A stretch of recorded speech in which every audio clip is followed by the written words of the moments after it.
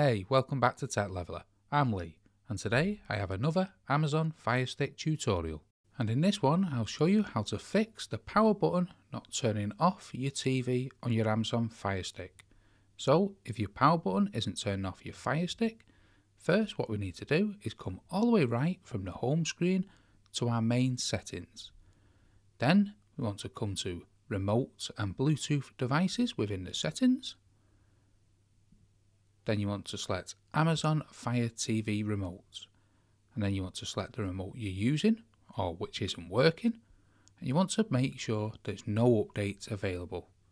Then once you've checked that, you can come back to the main settings and then select equipment control.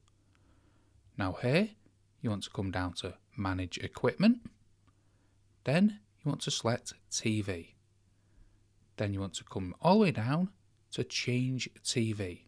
As you can see, it'll say this will take between 5 and 10 minutes. I always find it is a lot quicker. So let's select change TV. Then it'll try and work out what TV you're currently using. As I'm not actually plugged into a TV because I'm screen recording, it can't guess which TV I'm using. So what you'd want to do, if it can't guess your TV, is come down and select your brand. Then what you'd do is go through a setup process. Mine will say there's an error as I'm not actually in a TV.